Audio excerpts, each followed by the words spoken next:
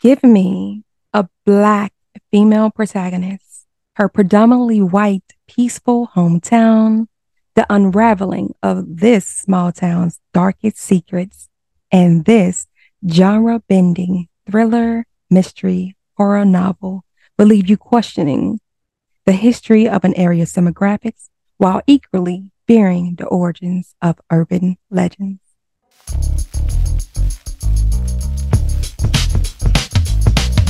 Yeah, yeah, yeah, yeah, yeah, yeah, yeah. The Books en Vogue podcast. Yeah, yeah, yeah, Come get your favorite next book. The Books en Vogue podcast. Yeah, yeah, With Catherine Brad.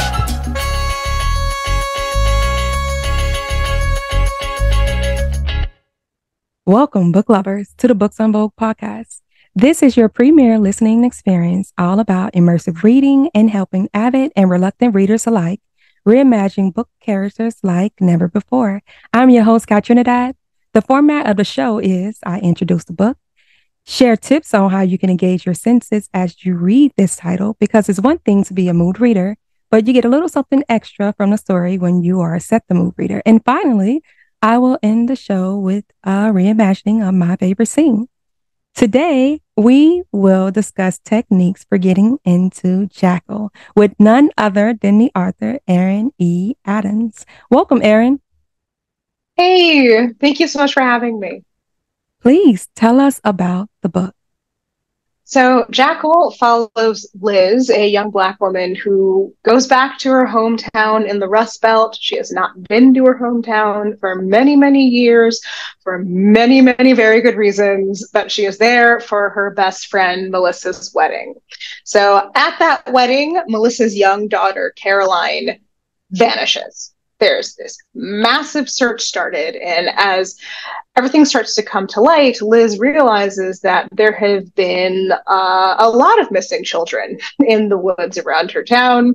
And they are all black and they're all girls. And so they've been kind of going under the radar for years and years and years. And now she has to get to the bottom of it once and for all before it is too late for Caroline and possibly too late for her.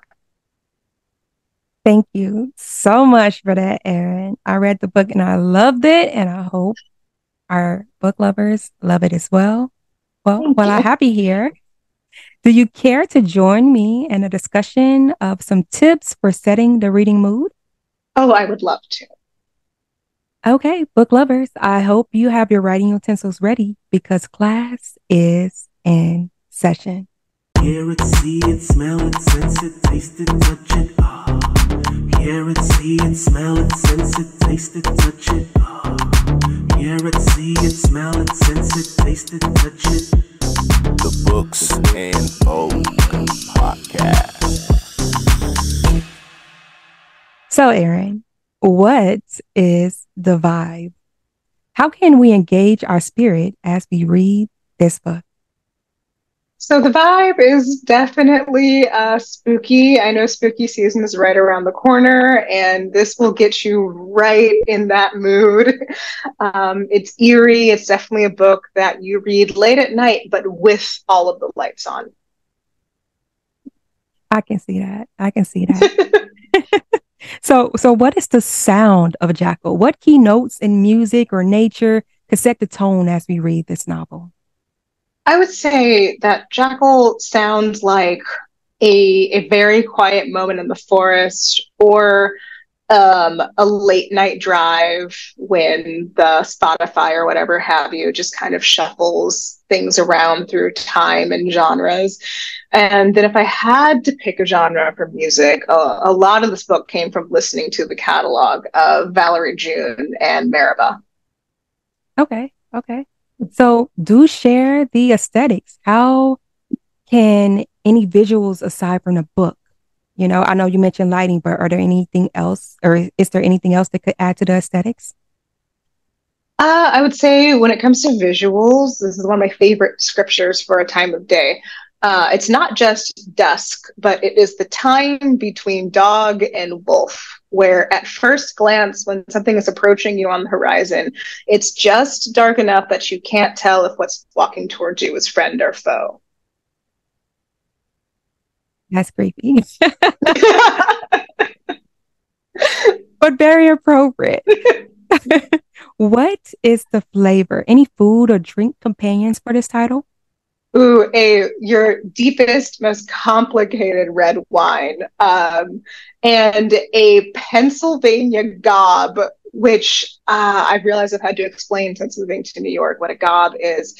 It is like this uh, cake, like cookie sandwich thing that has two, usually chocolate, two chocolate cookie cakes, and then um, really dense homemade uh, cream in the middle.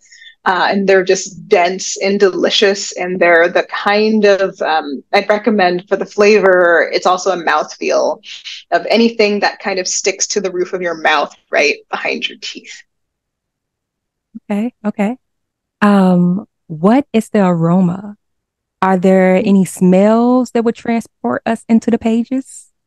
Mm, yes, I'm. I'm a big. I'm a big fan of these smells. Uh, maybe not the last one, but I would say uh, any sort of like of those amber smells, uh, skin musks, uh, trees, all sorts of like fresh tree scents. Um, that scent that comes right after it rains, and mix it all together, and then throw just the sharp, just a slight sharp hint of something burning very far away. Okay. Okay. And finally, how can we get more of the feels? Oh, Jackal definitely feels it feels like a long summer night where you've been awake for like maybe two hours past your bedtime and it's just as hot at night as it is during the day and it also can feel like it feels like a well furnished home but with one thing out of place, you don't know what that thing is. Nice. Nice. Well, there you go, book lovers. These are your recommended supplies as you read this mm-hmm. title. If you're able, pause and get some of these if available, or simply imagine because it's time for my favorite scene. Disclaimer Please note that exact words, names, locations, and or scenarios mentioned in this reimagined reenactment may differ from the actual book. Sharing my favorite scenes, I reenacted though, imagining the fiction world that I've been reading of. Going from all the things, I just gave you a list. Come experience all the senses as protagonists. And it don't get more real than this. Immersive read books on both and live vicariously.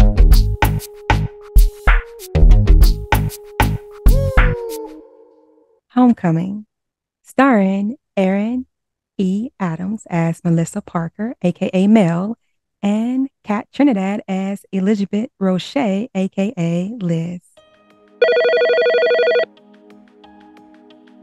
How does she always know exactly when to call?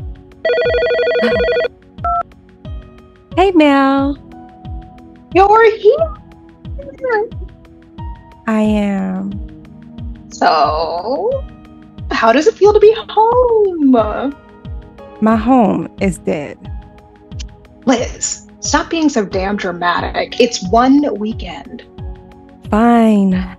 Let it be known, I buried this place. When I look at a map of the United States, my eyes drip over 309 miles of a state that isn't quite the heartland or the coast.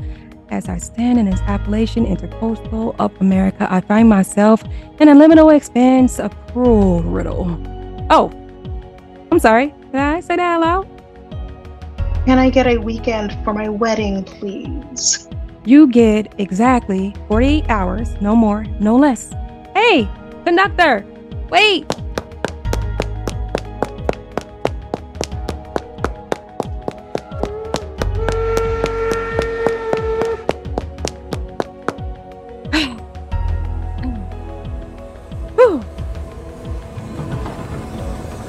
About funfetti for a wedding cake? It's interesting, right? It's all they had at the store. The bakery couldn't rush the order for us, so I'm currently on layer three of a five layer cake.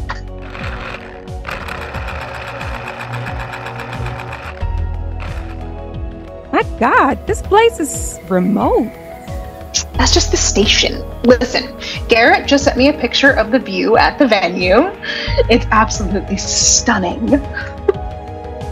Glad you finally decided on a place the day before the ceremony. Where is it? Oh, we're using Nick's place. Like his house?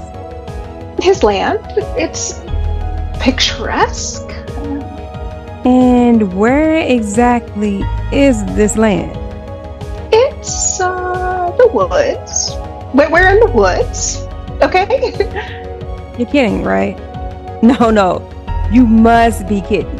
Elizabeth Rocher, please tell me you're gonna be cool about this. What? What do you mean cool?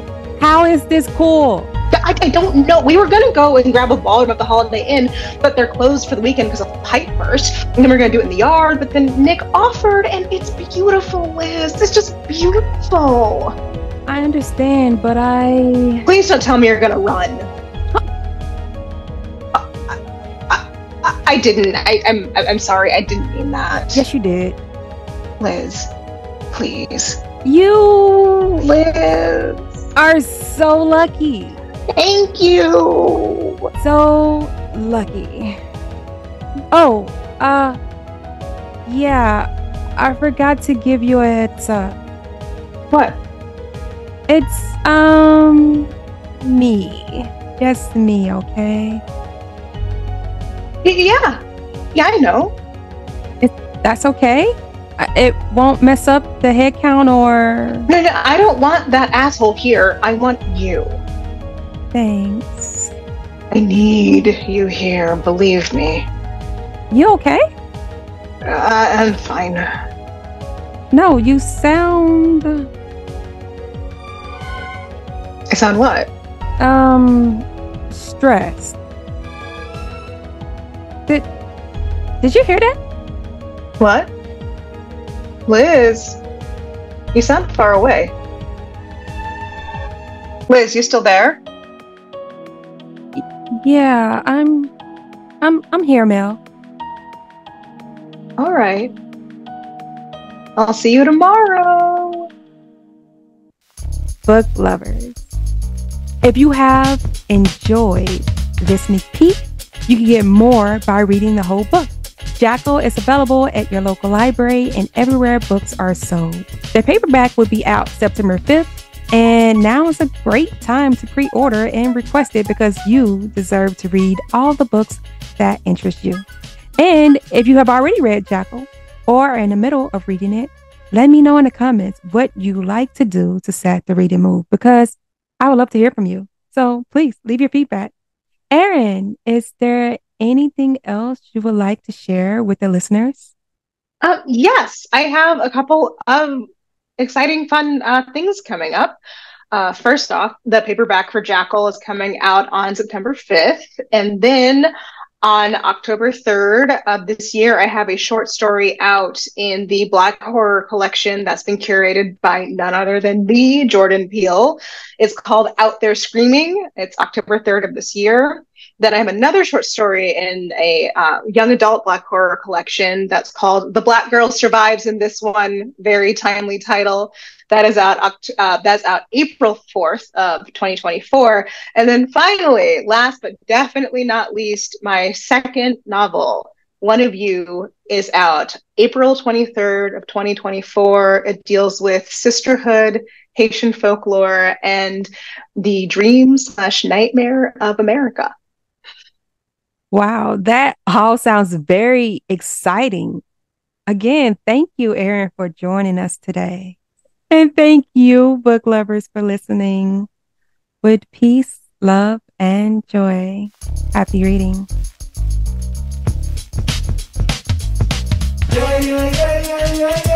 The Books en Vogue podcast. Come get your favorite next book. The Books en Vogue Podcast. Subscribe, listen, check out recommendations, and happy reading.